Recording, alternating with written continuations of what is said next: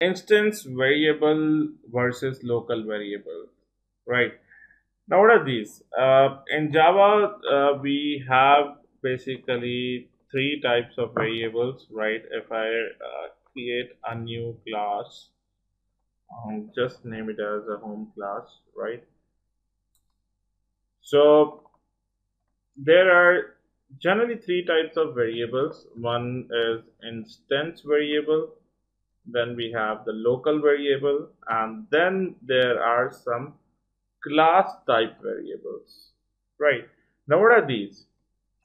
If I talk about instance variables, right?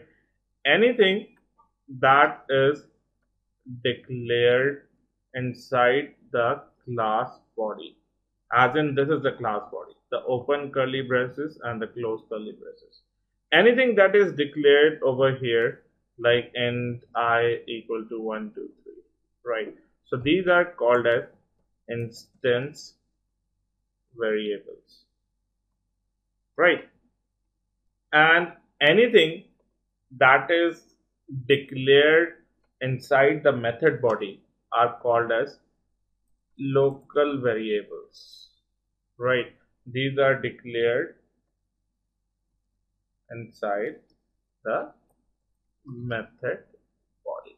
Right. So anything that i declare let's say public void go any any variable that i declared over here and j equal to 2 3 4 so this is basically a local variable. Now, why these are local variables or why uh, we, we also call this instance uh, variable as uh, a global variable as well, right? A global variable. Now, why global variable? Because uh, we can access this variable throughout the class. Throughout the class, anywhere we can access this variable, right?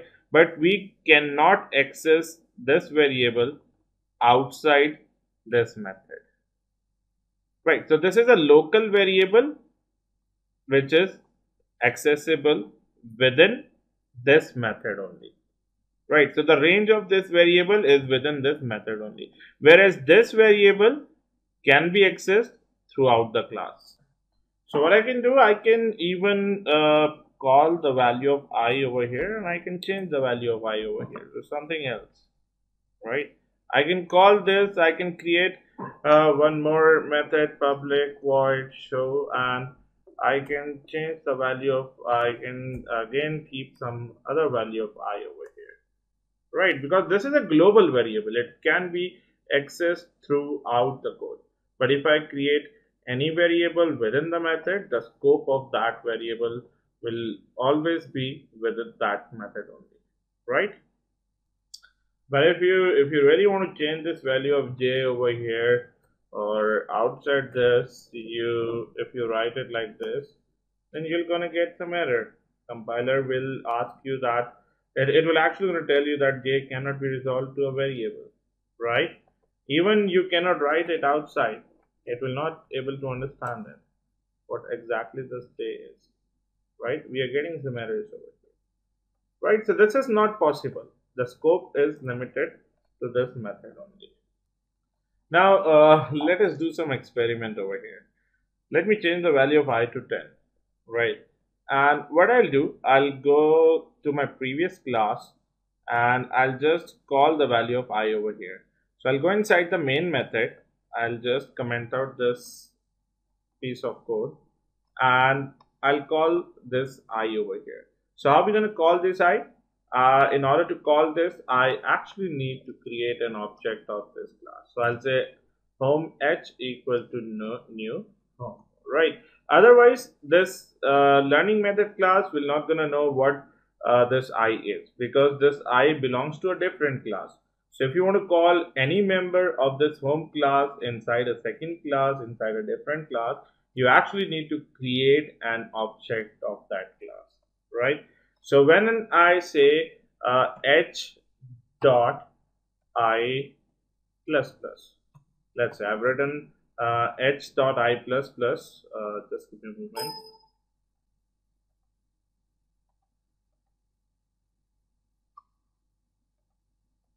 Right, and I'll create one more object of this class by saying h1, right, and then I'll say uh, h1 dot i. I'll again call this i i plus this then again create another object of this class right? And here I'll not gonna increment the value of i. I'll just gonna uh, print i over here right? Now tell me what it should print. The initial value of i is 10 right so here I'm incrementing the value of i here I'm incrementing the value i and here I'm just printing the value as it is. So if I execute this statement what it should actually print? Should it print 11 should it print 12 or should it print 10 what what it should actually print? Just just think of it. Just think of it right? Just give give two minutes of your time and just think of it what this thing will actually gonna print. So as soon as I execute it this will actually gonna print 10 only. Right? Now why? What happens over here? Now whenever we are creating an object over here we have created an object over here. Now this edge is actually a reference. It is actually holding one object over here right? It is actually holding the copy of this class right? And the i is actually accessed through this object and the value of i remains 10 and when we uh, call when we increment when we say i plus plus then this object 1 actually increments uh, this i is actually called by the object 1 and it increments the value of i to 11 and same thing happen, happens over here. So here another copy of object uh, is created by the reference h1 this is a new copy of uh, this class that is being created. A new object is being created right? This is uh, my second object. It is also holding the value of i as 10 right? And then same way, we are incrementing the value of i and it becomes 11, right? And here we have h2. This is the third object.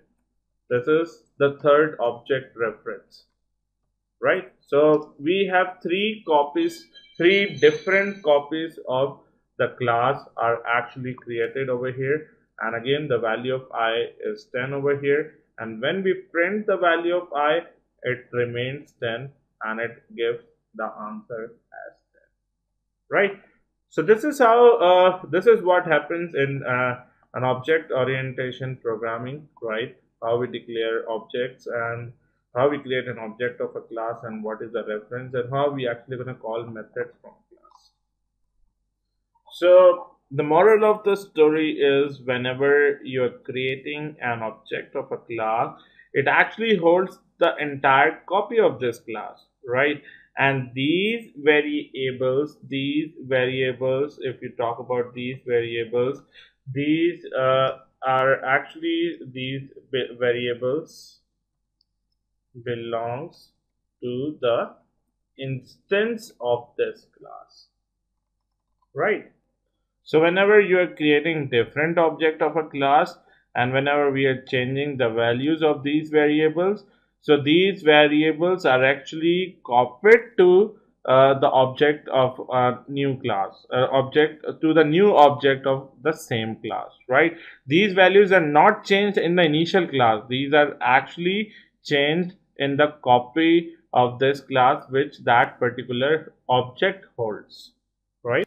So every object will gonna hold the copy of this variable. Every object as in every instance of that class holds the copy of these variables. So that is the reason we call them as instance variable. Now next thing uh, we'll take a look at class variables. Now what are class variables? Okay, let me take an example. Let's say uh, if I open MS Paint, right? Now let's say we are in a class and uh, let's say if I uh, there are three notepads, right? I give you three these three notepads, and I want that uh, you to write uh, any value of i, right? You write as one. Uh, someone has written as eleven. Uh, uh, let's say someone has written as ten. Someone has written as eight, right? Now, what is this? These are three different objects let's treat them as a different object of a same class right the value was 1 the value was notepad but on three notepads we have written different different values right? So we call them as an instance variable right? We we have actually called them as an instance variable where we are actually creating three objects of a class.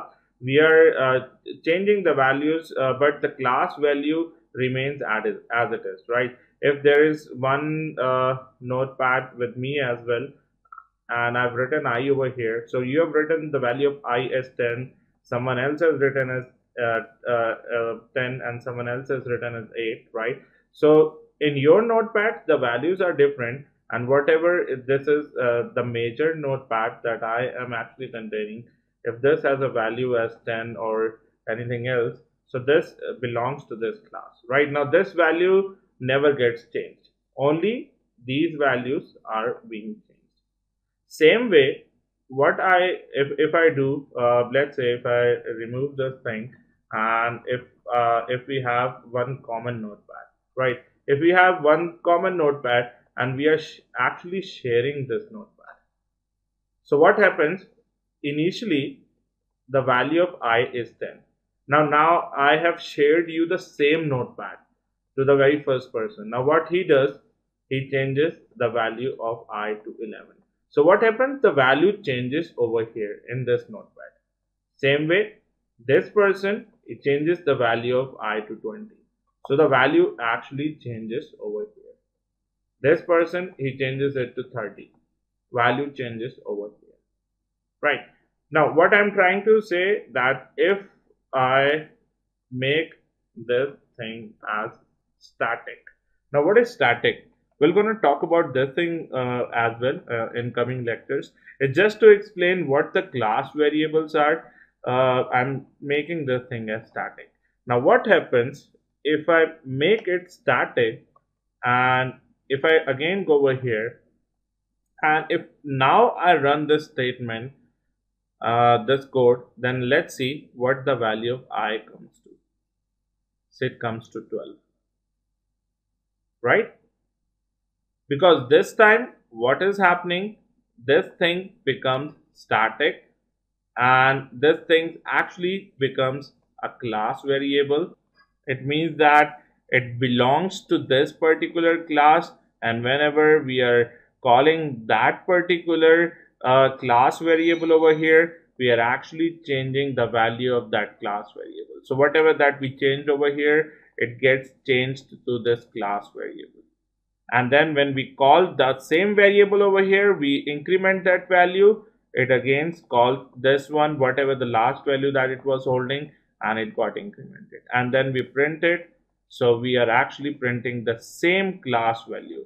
We are not creating a copy of this class right in in previous example when we were calling the instance variable we were actually creating a copy of this class and then we were calling the instance vari variable now we are actually calling the class variable when we make any particular data member as static so this is what your instance variable local variable and the class variable so if we go back to the presentation, this is what we have seen a difference between an instance variable, local variable, and there is one called as class variable, right? And then if we talk about accessing objects, method, and instance variable. So in, in, a, in a class, you will be dealing with, uh, if, if, we, if I go back to Eclipse, you will be dealing with either the instance variables or the methods, right? These are the two things that you generally be dealing inside a class right so whenever uh, the method and instance variable of uh, any object can be accessed by the help of dot operator so whenever you want to access them you need to create an object of uh, a class and you need to create a reference variable. And whenever you say that reference variable with dot operator you can access either the instance variable of that class or you can access the method of this class. So over here this is a reference variable and this is an object of a class and this is the class name.